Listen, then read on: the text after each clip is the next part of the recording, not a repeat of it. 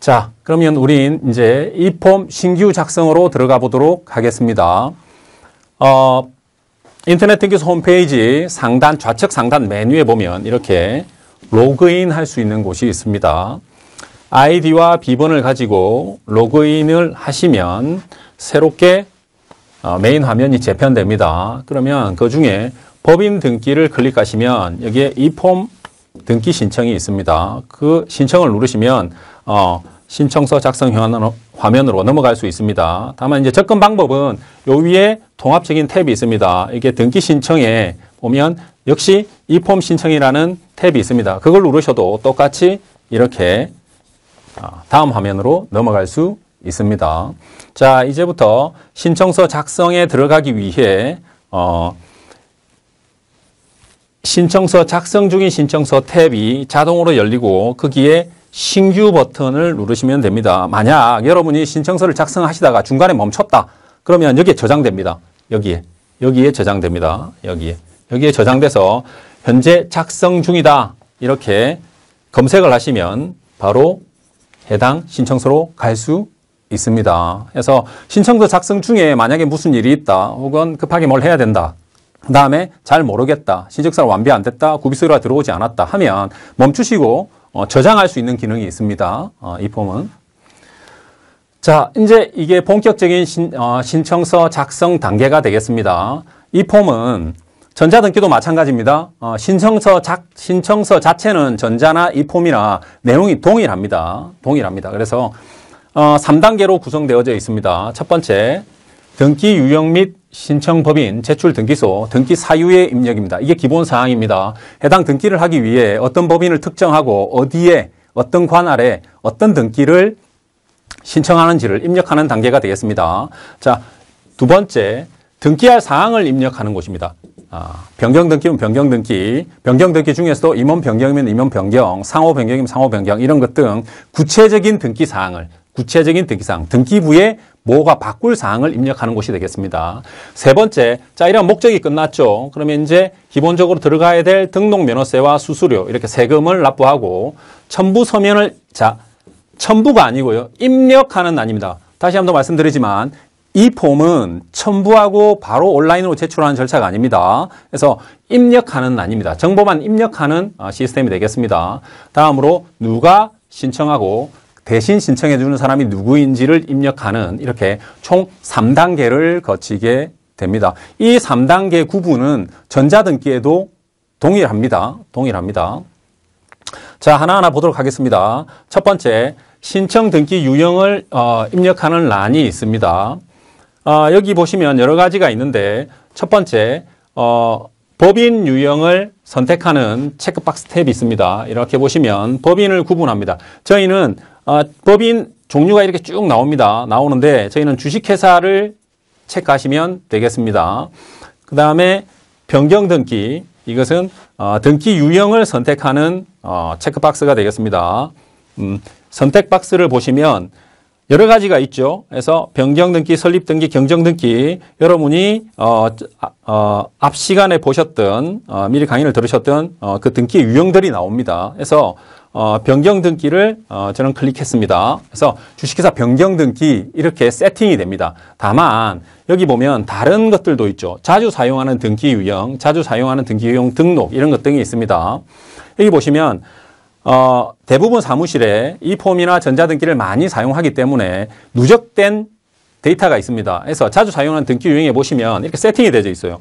주식회사 변경 등기. 그러면 자주 사용하는 등기 유형 이렇게 선택 박스를 체크하시면 처음부터 이렇게 돼 있어요. 주식회사 변경 등기, 주식회사 설립 등기 이렇게 세팅이 되어 있어요. 그러면 그걸 바로 클릭하시면 자동으로 여기가 채워집니다.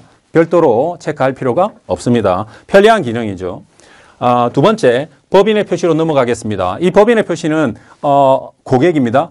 나한테 법인 이거 변경됐으니까 좀 바꿔주세요 하고 온 그 대상 의뢰 법인이 되겠습니다. 그래서 어, 대상 법인 어, 을 버튼을 클릭하면 이렇게 대상 법인을 검색할 수 있는 팝업 창이 뜹니다. 대상 법인을 검색하는 방법은 등기 번호와 상호 이렇게 두 가지로 검색할 수 있고 해당 관할은 특정해 주셔야 됩니다. 이렇게 해서 검색을 누르시면 밑에 이렇게 검색된 법인이 나옵니다. 그러면 체크박스에 체크를 하시고 선택을 하시면 법인이 입력되게 됩니다. 물론 여기도 마찬가지로 자주 사용하는 법인이 있습니다. 이렇게 선택 박스를 누르시면 마찬가지로 이런 선택 박스가 뜹니다. 그러면 거기에 어, 주식회사 뭐 갑, 주식회사 뭐 을 이렇게 쭉 나와요. 해당 법인에. 그럼 그걸 바로 누르시면 이런 선택 박스 없이 없이 바로 어, 법인 선택이 가능합니다. 자, 그러면 다음으로 아직까지 1단계입니다. 어, 아직까지 1단계. 자, 그러면 여기 보시면 어, 이렇게 노란 선 안에, 아, 저기 녹색 선 안에 보시면 여러분이 앞쪽에서 입력했던 사항들이 나옵니다. 그죠? 해당 법인, 그죠? 이렇게 신청 등기 유형 이렇게 표시가 되어져 있습니다. 해당 관할은 자동으로 등기가 됩니다. 주소지 관할을 주소를 선택했기 때문에 바로 어, 자동으로 관할 설정이 됩니다. 다음으로 등기의 목적, 주식회사 변경 등기까지 요 위에서 바로 선택을 해줬기 때문에 여기까지가 이제 자동으로 되고 이 면에서는 어, 등기 사유를 입력하는 난이 되겠습니다.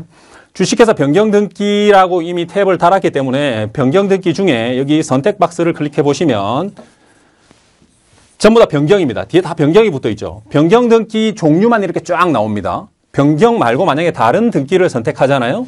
그러면 그에 관련된 것들이 쭉 나옵니다. 이 선택 박스에. 그래서 본인들이 원하는 어, 등기를 클릭하시면 선택하시면 됩니다.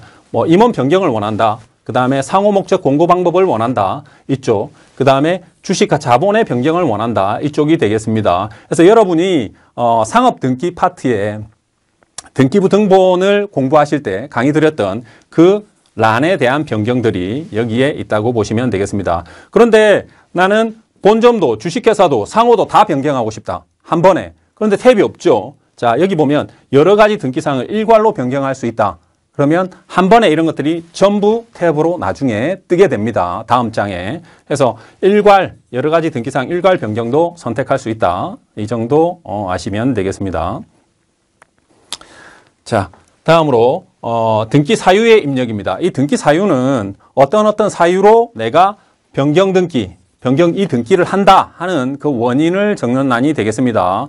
특별하게 그 어떻게 적어라 양식이 규정되어 있지 않습니다. 다만 어, 언제 이렇게 몇 년 몇월 며칠 원인입니다. 주주총회나 이사회 결의로 뭐뭐가 변경됐으니 등기를 해주세요. 이렇게 간략하게 적으시면 되겠습니다. 아, 다음으로 요 밑에 이제 허가서 승인 및 도달일 탭이 있는데요. 이거는 주식회사 상업등기에 사용하지 않습니다. 저것은 민법법인 등기에서 허가서 도달일자를 기재하는 곳이 되겠습니다. 해서 여러분은 상업등기에서는 사용할 일이 없습니다. 자, 이렇게 하면 어, 여기에 체크박스가 하나 있죠. 여기 최초 작성일 이후 3개월이 지나면 여러분이 이 작성한 이 작성은 더 이상 보관되지 않습니다. 삭제된 것에 동의를 하시고 저장 후 다음을 클릭하시면 되겠습니다. 이렇게 클릭하시면 이제 1단계가 완료됩니다. 1단계가. 그래서 클릭함과 동시에 신청 권한 확인을 하는 박스가 어, 이렇게 팝업이 뜹니다. 이것은 어, 등기소에서 어, 당신이 진짜 이 등기 법인의 대표자로부터 위임을 받고 들어왔는지를 물어보는 안전장치라고 보시면 되겠습니다. 해서 신청인 권한, 실제 등기부를 바꿔서 신청할 수 있는 권한이 있는지를 확인하는 겁니다. 이 권한에는 해당 법인의 대표자의 인적사항을 적습니다. 개인의 인적사항을. 대표자의 성명, 뭐 이것은 내국인과 외국인을 구분하는 것이고요. 그 다음에 주식, 주민, 주민번호를 적고 입력 확인을 하고 확인을 누르시면 바로 2단계로 넘어갈 수 있습니다. 이제 권한이 있다는 거죠. 그러면 실질적으로 등기 사항에 손을 댈 수 있습니다. 등기 사항을 변경할 수 있습니다.